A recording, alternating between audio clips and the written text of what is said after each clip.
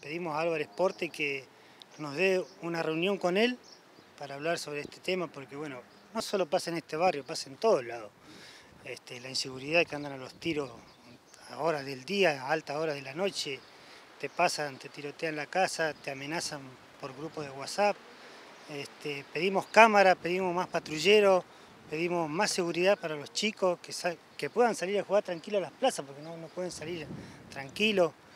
Este, y al juzgado que no lo suelte. A la fiscalía también vamos a pedir un petitorio, vamos a hacerlo, lo vamos a llevar para que sigan presos, que no los larguen, porque son así, salen, pasan por un auto, se hacen los, sicarios en moto, te tirotean la casa. Si vos vas ahora a mi casa, le tuve que poner una madera en la ventana adelante, reforzada con una chapa, porque yo tengo dos chiquitos más. Estaba Agustín, está la hermanita que es ella, Samira, y tengo los dos bebés que los tengo que tener encerrados siempre en la pieza atrás por ese miedo, ¿viste? Porque que no me lastimen otro chico más.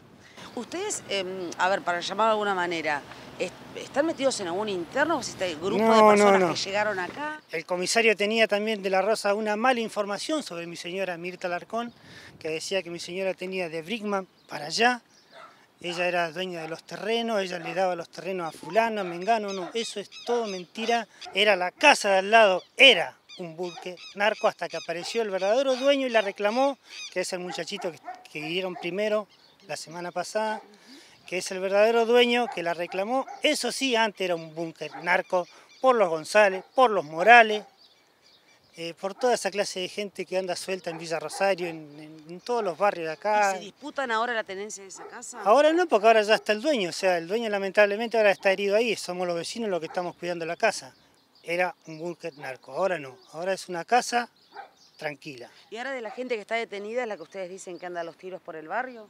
Eh, son, son familiares, sí, y queremos que no salgan más. Hace dos semanas que estamos a los tiros, no podemos tener los chicos en la vereda, eh, pasan con auto fuerte, a toda velocidad, motos, eh, hay muchas caras desconocidas también que pasan, sí, la verdad estamos con miedo ahora, realmente.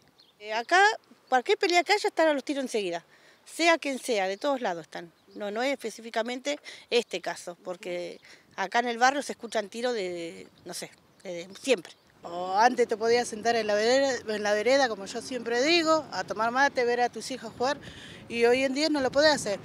Porque esto viene ya hace rato, o sea, no solamente ellos, cualquiera, vienen, tiran tiro, andan autos rápidos, tiran tiro al aire y no te dan ni ganas de sacar a tus hijas. O sea, yo no salgo a ningún lado.